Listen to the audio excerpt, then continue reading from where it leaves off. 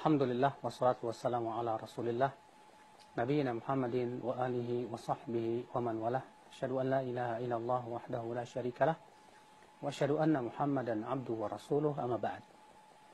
Saudara-saudaraku bangsa Indonesia, di antara nikmat yang sangat besar yang Allah berikan kepada kita bangsa Indonesia adalah Allah memberikan kepada kita kemerdekaan.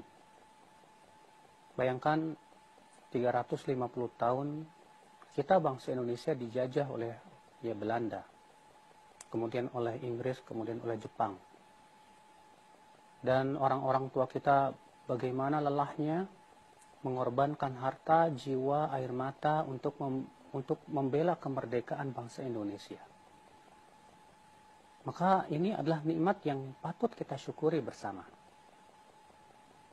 Tentunya mensyukuri nikmat adalah dengan cara yang pertama kata Ibnu Qayyim rahimahullah yaitu i'tiraful qalbi mengakui bahwa nikmat ini semuanya dari Allah Subhanahu wa taala. Yang kedua mengucapkan puji dan syukur kepada Allah Subhanahu wa taala yang telah memberikan kepada kita kenikmatan tersebut. Yang ketiga yaitu mempergunakan kenikmatan tersebut untuk menaati Allah Subhanahu wa taala.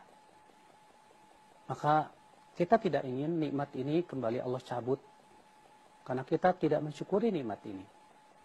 Maka syukurilah nikmat ini dengan cara banyak kita menaati Allah subhanahu wa ta'ala. Kita menegakkan sholat. Kita menjalankan perintah-perintahnya. Kita menjauhi larangan-larangannya. Maka dengan kita mensyukuri nikmat Allah subhanahu wa ta'ala. Insya Allah Allah akan langgengkan kenikmatan ini kepada kita. Tapi ketika kita tidak mensyukuri nikmat Allah Subhanahu wa taala yang besar ini, barangkali bisa saja Allah akan mencabut kembali nikmat tersebut kepada dari kita. Allah taala berfirman, "Walau anna ahlal qura amanu wattaqau lafatahna 'alaihim barakatin minas sama'i wal ard. Walakin kadzabu fa'akhadnahum bima kanu yaksibun." Kata Allah dalam surat Al-A'raf.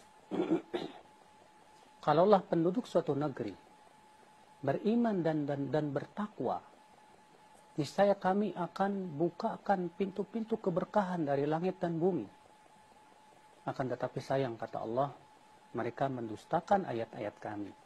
Maka kami pun siksa mereka disebabkan oleh dosa-dosa mereka. Tentu kita tidak ingin masuk